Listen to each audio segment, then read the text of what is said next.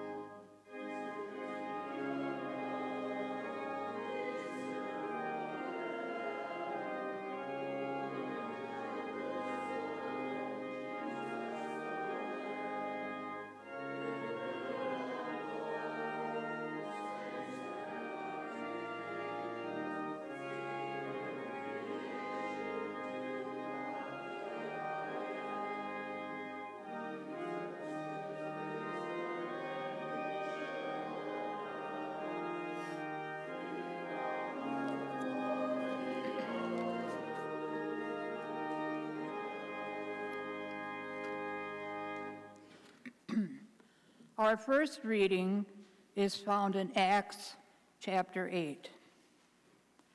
An angel of the Lord said to Philip, Get up and go toward the south to the road that goes down from Jerusalem to Gaza.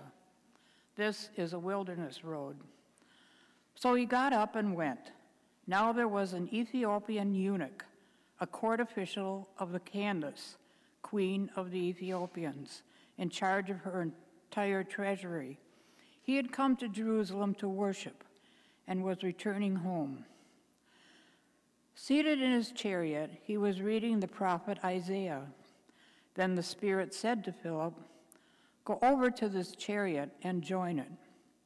So Philip ran up to it and heard him reading the prophet Isaiah. He asked, Do you understand what you are reading? He replied, How can I, unless someone guides me? And he invited Philip to get in and sit beside him.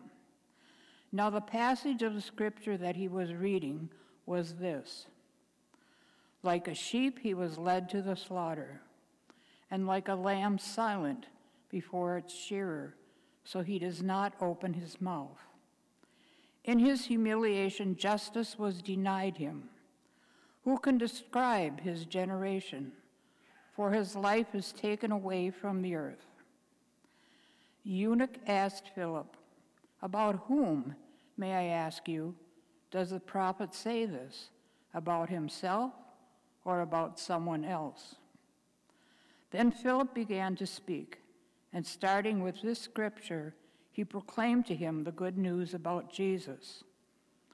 As they were going along the road, they came to some water, and the eunuch said, Look, here is water. What is to prevent me from being baptized? He commanded the chariot to stop, and both of them, Philip and the eunuch, went down into the water, and Philip baptized him. When they came up out of the water, the Spirit of the Lord snatched Philip away. The eunuch saw him no more and went on his way rejoicing. But Philip found himself at Azotus and as he was passing through the region, he proclaimed the good news to all the towns until he came to Caesarea. This is the word of the Lord. Our second reading is found in 1 John chapter 4. Beloved, let us love one another, because love is from God. Everyone who loves is born of God and knows God. Whoever does not love does not know God, for God is love. God's love was revealed among us in this way God sent his only Son into the world so that we might live through him. And this is love, not that we loved God, but that he loved us and sent his Son to be the atoning sacrifice for our sins. Beloved, since God loved us so much, we also ought to love one another. No one has ever seen God. If we love one another, God lives in us, and his love is perfected in us. By this we know that we abide in him, and he in us, because he has given of us his Spirit. And we have seen and do testify that the Father has sent his Son as the Savior of the world. God abides in those who confess that Jesus is the Son of God, and they abide in God. So we have known and believed the love that God has for us. God is love, and those who abide in love abide in God, and God abides in them. Love has been perfected among us in this way that we may have boldness on the day of judgment, because as he is, so are we in this world. There is no fear in love, but perfect love casts out fear. For fear has to do with punishment, and whoever fears has not reached perfection in love. We love because he first loved us. Those who say, I love God, and hate their brothers or sisters are liars.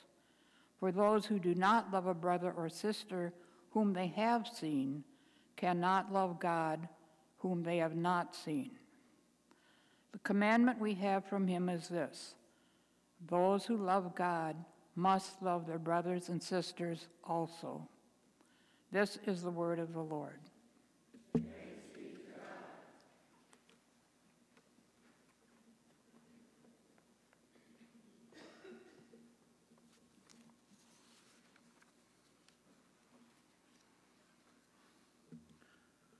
Please stand now for the reading of the gospel.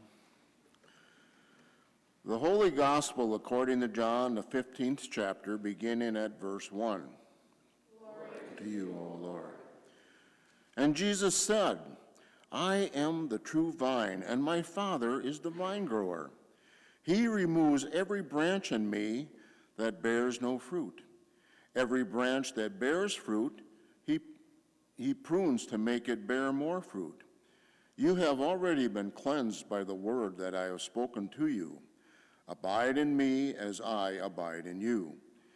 Just as the branch cannot bear fruit by itself unless it abides in the vine, neither can you unless you abide in me. I am the vine, you are the branches. Those who abide in me and in them bear much fruit, because apart from me you can do nothing. Whoever does not abide in me is thrown away like a branch and withers. Such branches are gathered and thrown into the fire and burned. If you abide in me and my words abide in you, you ask whatever and whatever you wish, and it will be done for you. My Father is glorified by this, that you bear much fruit and become my disciples. This is the gospel of our Lord. You may be seated. We have a children's sermon for the young at heart.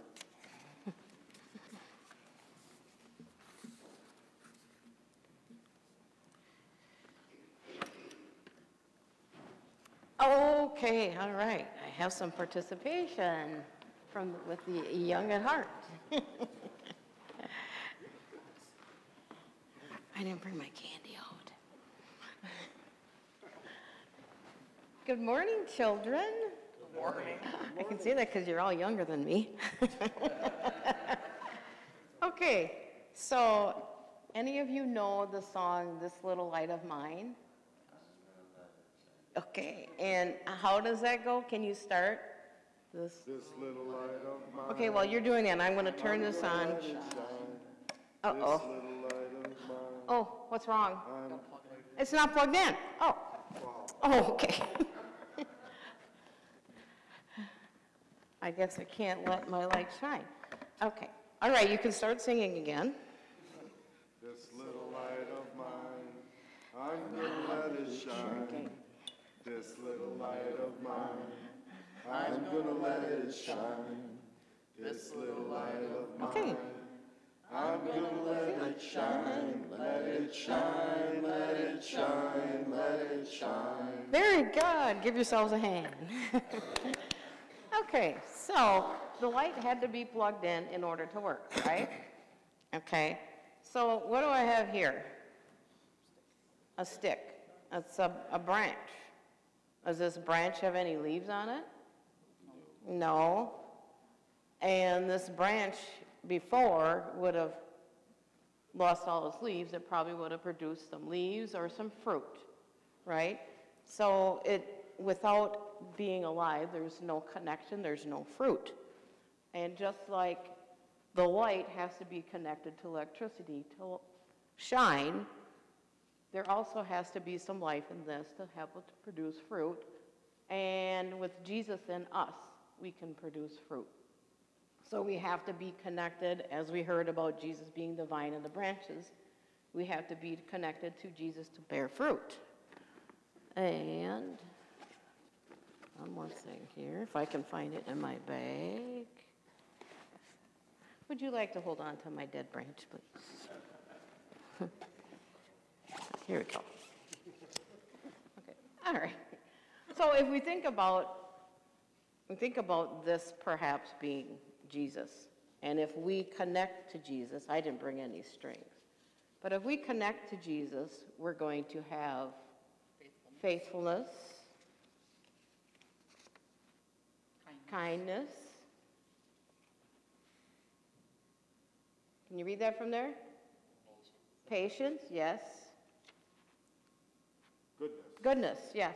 So if we would kind of use our imagination and say, this is Jesus, and these are all, we're connected to Jesus, we're going to have all these qualities because, because we're connected to Jesus. So we re, need to remember to always stay connected to Jesus. Let us pray. Thank you, Lord, for sending Jesus to be our branch, and let us be, produce good fruit in his name. Amen. Do we have any candy to share with our guests today? Oh, yes, we do. Oh, we do? Okay. All right. And after, oh, see, I got to thinking, after getting the message, I should have had fruit snacks, and there are actually some in here because it'd be very appropriate for the fruit. So you can take what you want, and thanks for coming up. Two of them? Sure.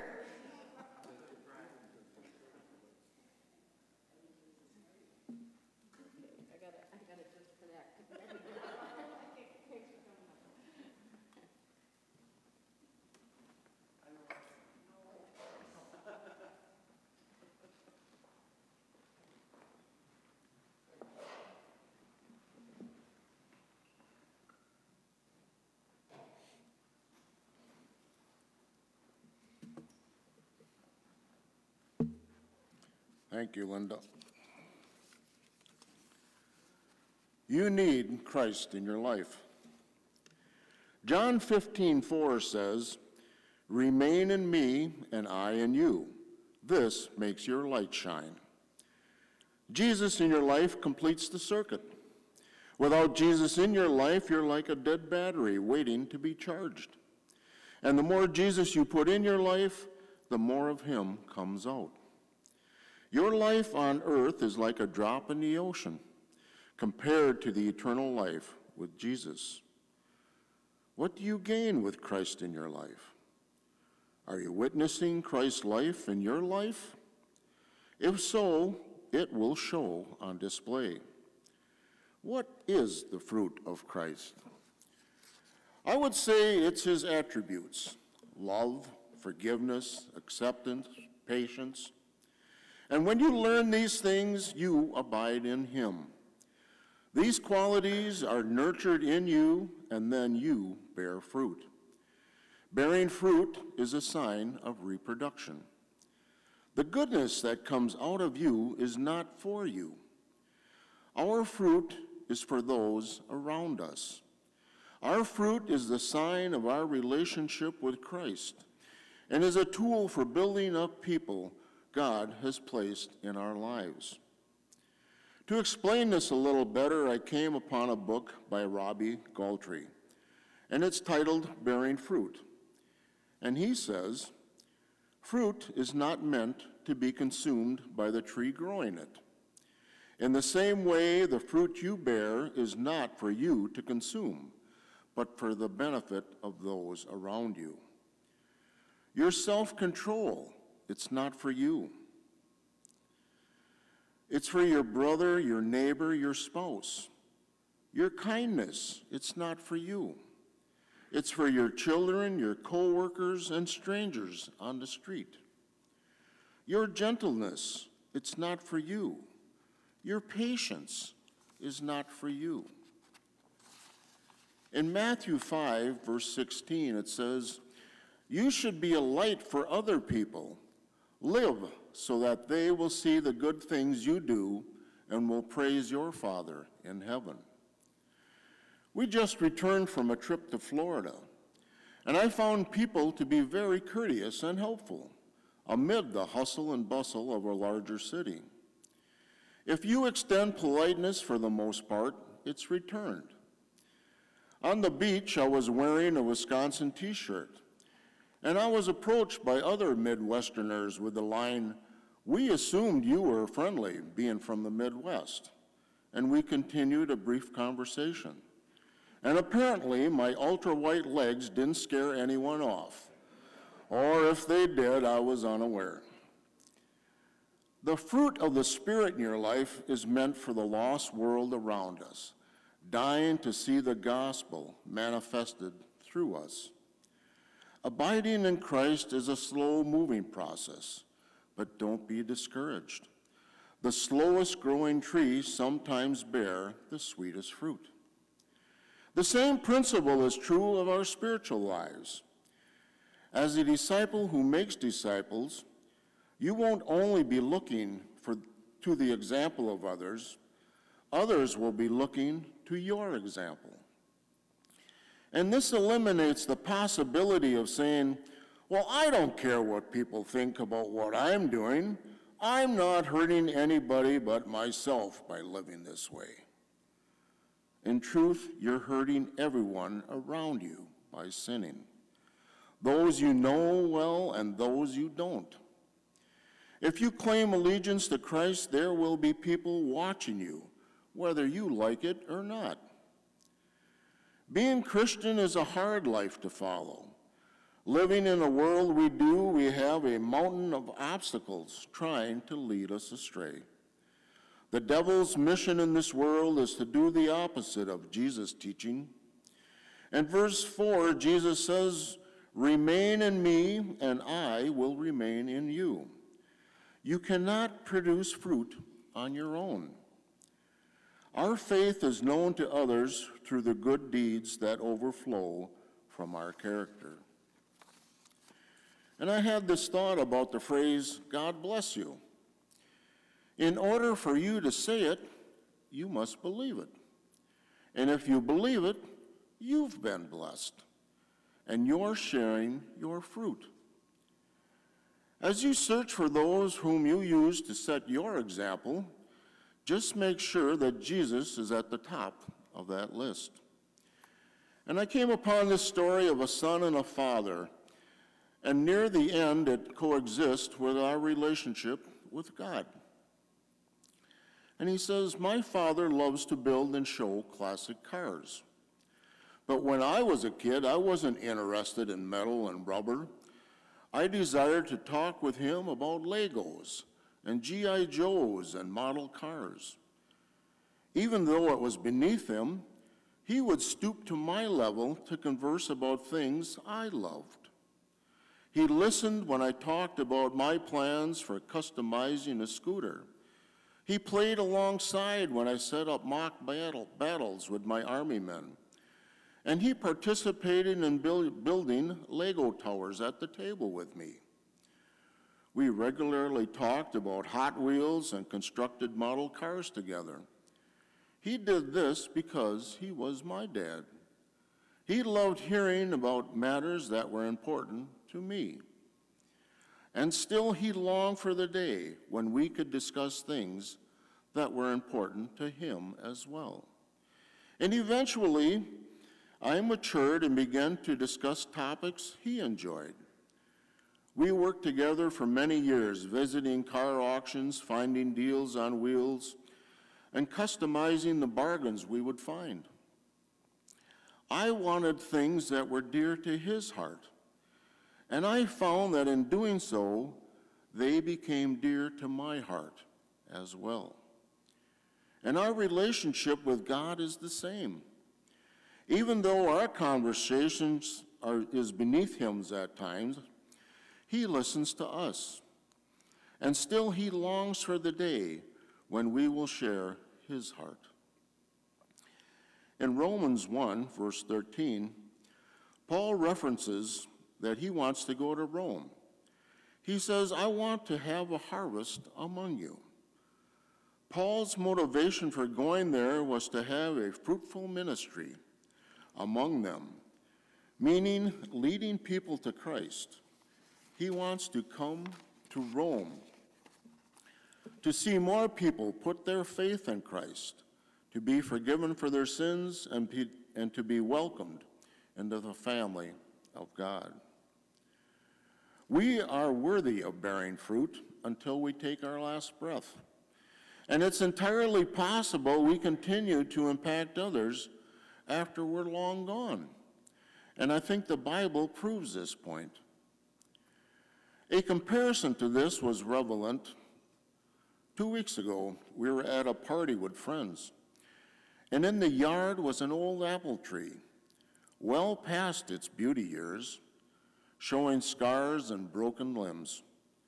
And it's safe to say, as far as tree goes, trees go, it was an ugly reminder of what it once was.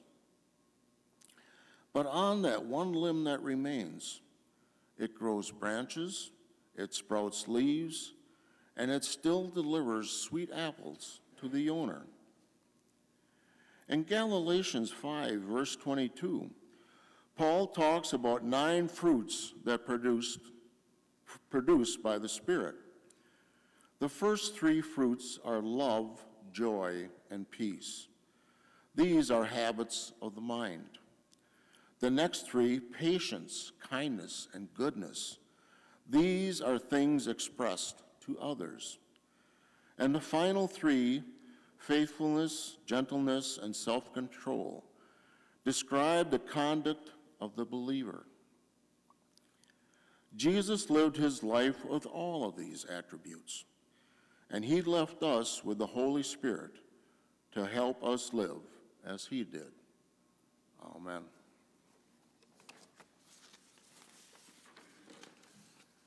And our next song is page 708.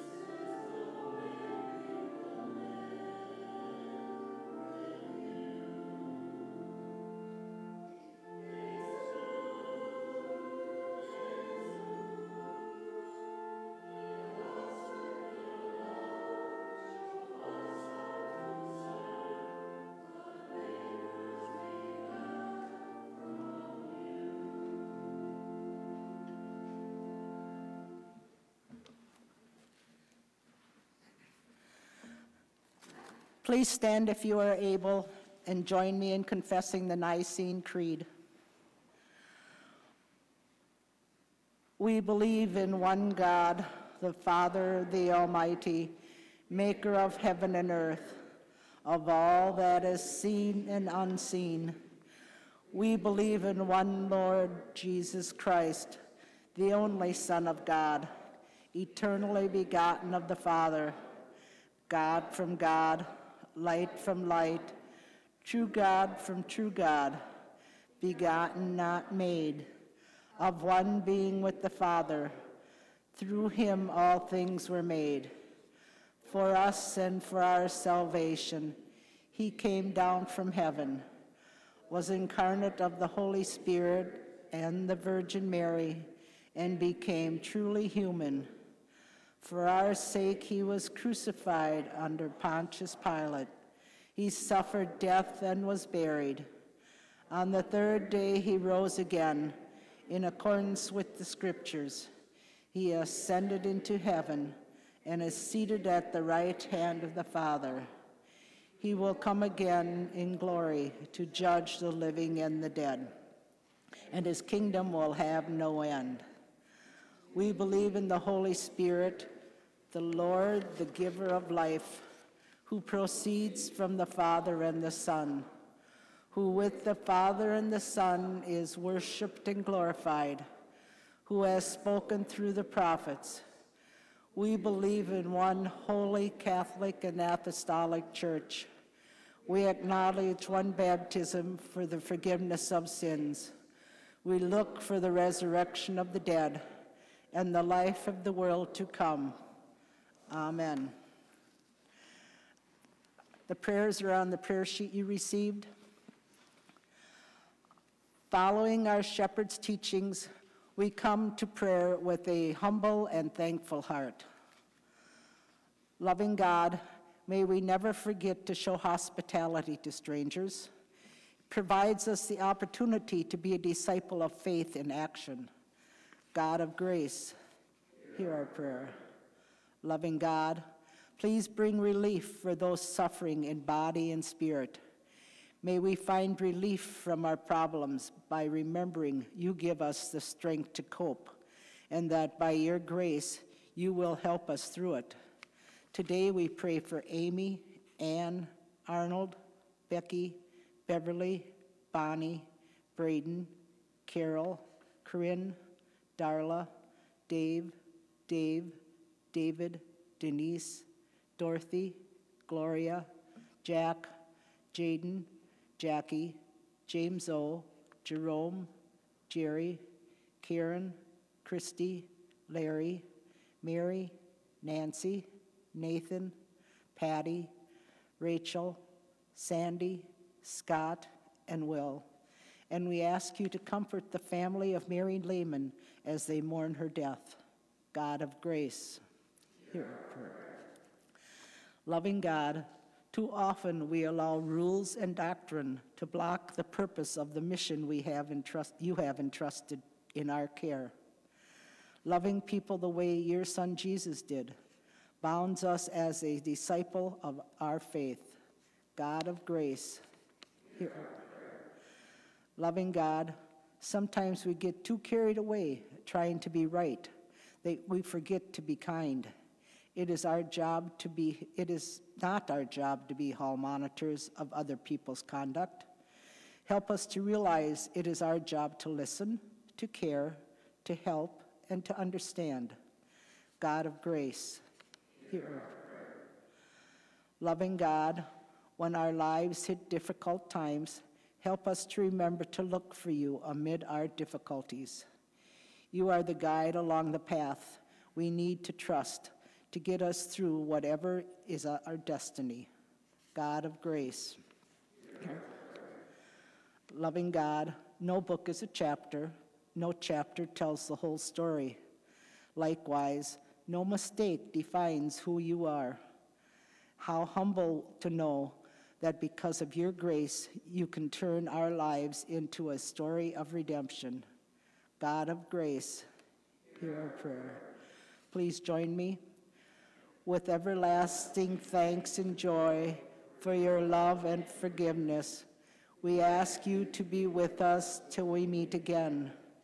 This week, help us to take every opportunity to be thankful for the blessings of each day. Help us to pay attention to how best we can be a gift to others. May we approach each day with soul, serving others, uplifting lives. We ask all in the name of your dear Son, our Savior, Jesus Christ. Amen. You may be seated for this morning's offering.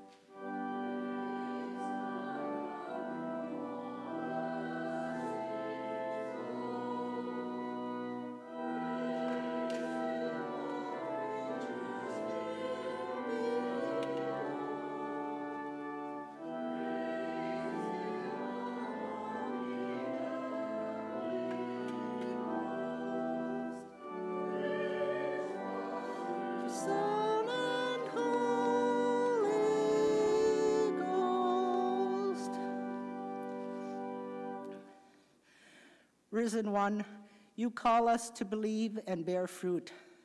May the gifts that we offer here be signs of your abiding love.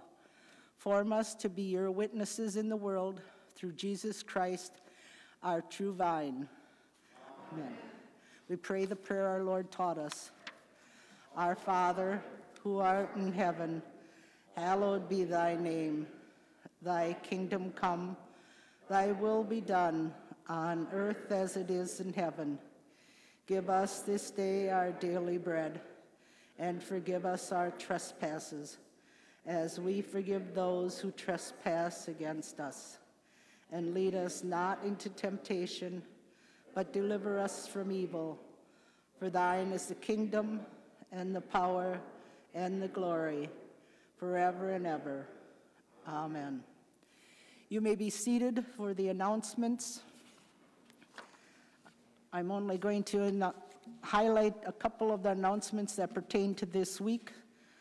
There are more announcements on your sheet that you can read for yourself, and if you're uh, online, I think they will be in the Spirit Alive, which should be coming out this coming week. So you can read them there. The- A meeting for the confirmands, parents, and mentors will be this Wednesday, May 1st, after worship service.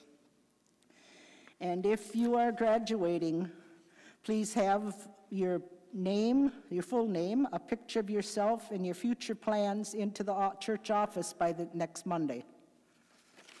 Does anybody have any other announcements that they'd like to share? Any celebrations we want to share? Let's see, do I have anything else? Oh, yes, your prayer sheet. If you look, there's, it's got two sides. You take it along home with you and you have prayers for the coming week. That was the other thing I wanted to mention. And our last hymn is On Our Way Rejoicing, number 537.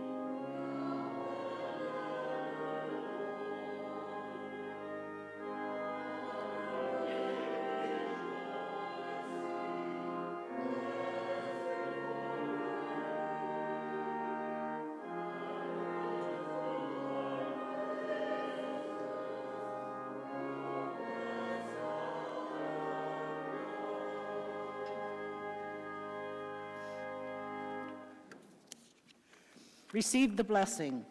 Alleluia. Christ is risen. Christ is risen indeed. Alleluia. The God of resurrection power, the Christ of unending joy, and the Spirit of Easter hope bless you now and always. Amen. Alleluia. Go in peace. Rejoice and be glad. Thanks be to God. Alleluia. Have a rejoicing week.